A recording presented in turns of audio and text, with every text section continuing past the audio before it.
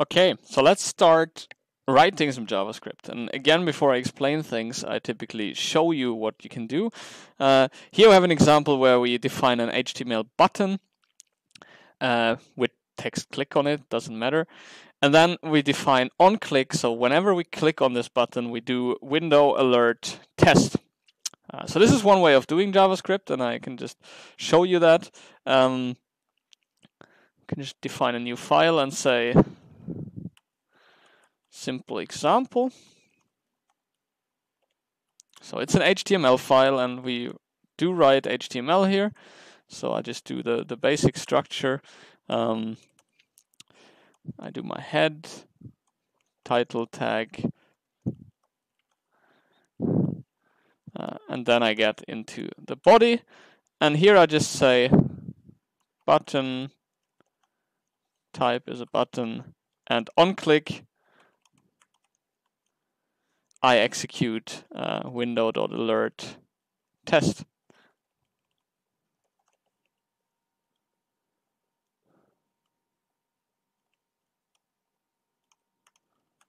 And the text of the button is click. So if I open this, and I can make it a bit larger. Um,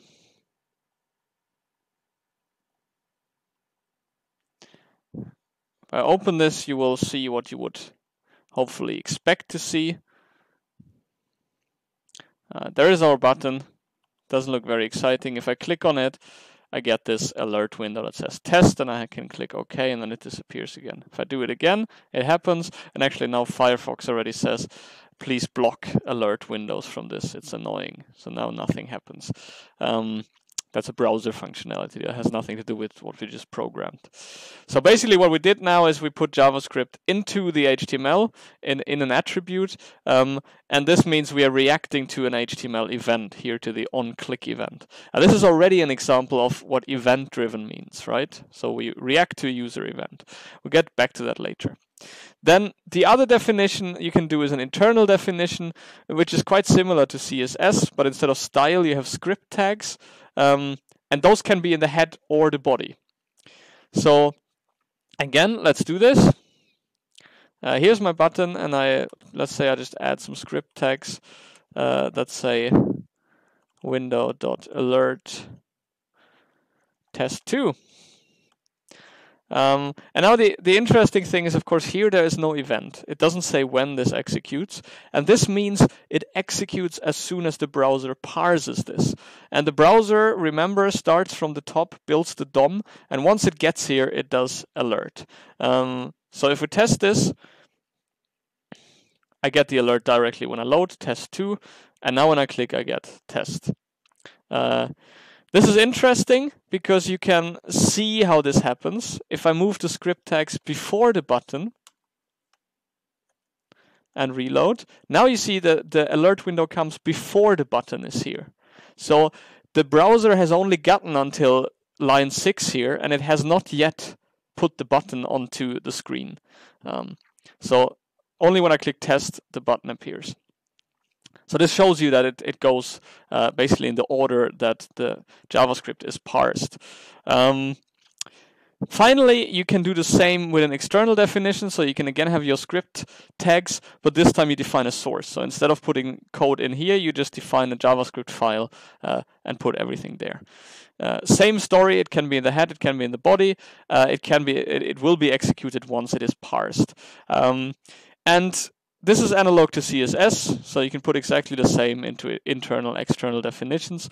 And the recommendations are also similar, that for readability, uh, for modularization, you should put things into external files. Um, so as a summary, you can have JavaScript as a part of an HTML attribute, as a, triggered by an event. You can have it as an internal definition, you can have it as an external definition in its own file.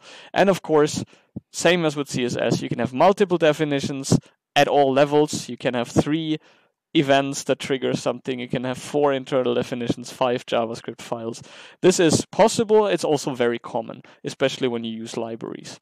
Um, and similar to CSS, as I already said, for modularization, for readability, it's best to have external files because then you can reuse them across different HTML pages. You can change it in, in a single place uh, and you don't mix HTML and JavaScript code in the same file.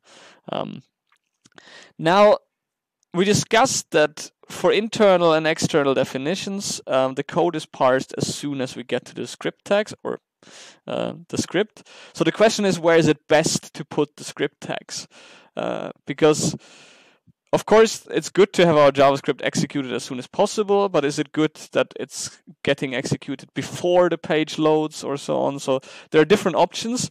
Uh, and the uh, important thing is, as you have seen with the button example, the construction of the DOM stops until the script is completely loaded.